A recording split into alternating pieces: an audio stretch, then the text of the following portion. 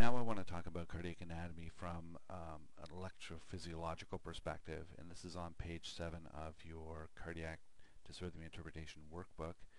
So when we look at the heart from an anatomical perspective, we're really looking at a four-chamber, two-sided pump. So we're talking about um, you know, the right side here, which receives deoxygenated blood and sends it a very short distance to the lungs where it picks up oxygen and returns it um, to the left side of the heart, now oxygenated, and uh, then it gets pumped to the rest of the body. So we're really looking at the right side of the heart, pumping it to the lungs, left side of the heart, pumping it to the rest of the body.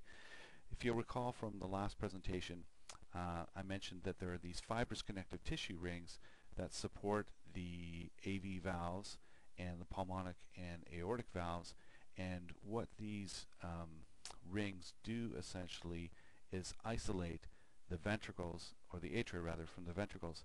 So the only link, this is the SA node here, uh, between the atria and the ventricles is this AV node and the bundle of His, which then bifurcates into the right and left bundle branches.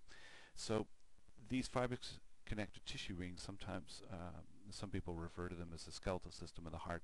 They support the, the valves, but they isolate the atria from the ventricles.